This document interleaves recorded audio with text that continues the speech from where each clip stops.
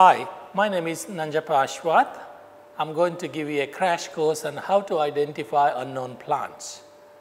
Before you start this task of identification, you need to have some basic understanding of what plants are, how they fit into the bigger picture of all the animals, plants, and uh, the, the fungi and bacteria. And I hope you, you have that understanding, and based on that, we could go forward in uh, taking an unknown plant and then trying to identify it using certain the guidelines of the manuals. Firstly, when you talk about the plants, plants fit into this larger scheme of classification and any object that you come across can be classified into two categories. One as the live materials of the objects and the dead objects. The plants belong to the live category and they become one of the major six groups such as bacteria, fungi, animals. Because we are dealing with the plants, let's learn a little bit more about the plants. And uh, so when you go out and look at the plants, you come across some plants living in the air.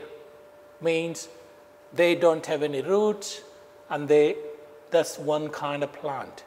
Some, some plants live on other plants, they call epiphytes. Some plants live on the water. Some plants live in the, on the land.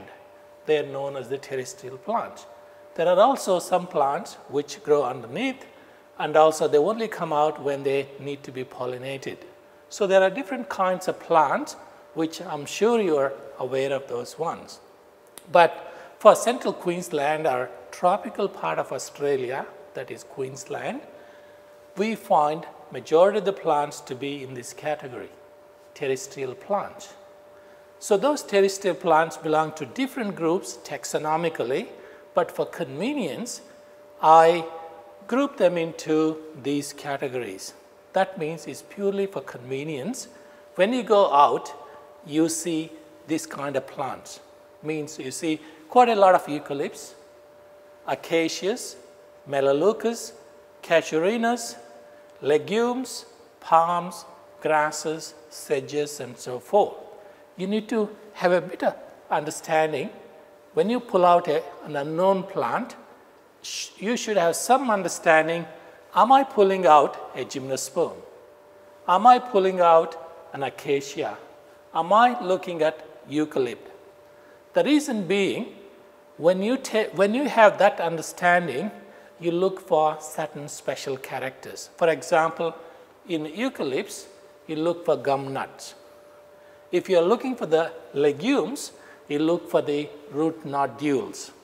And if you're talking about the casuarinas, you're looking for the, the cones or the leaves, modified leaves. That's why it is important to have a bit of understanding so that you can apply the right kind of a guideline for identifying that group of plants.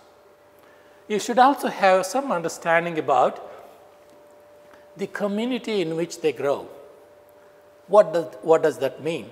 Community means a range of plants live in a certain types of habitat or a community and they are known as rainforests, dry rainforests, forests, woodlands, scrubland, heathland, grassland and wetland. So it's good to know in which community these plants grow that will also help you, in identifying that specimen. The reason being certain plants grow only in uh, wetlands, certain plants grow in only in the savannas, certain plants grow in the grasslands. So by knowing the place where you collect it from, it will help you to identify them because certain plants grow only in those habitats.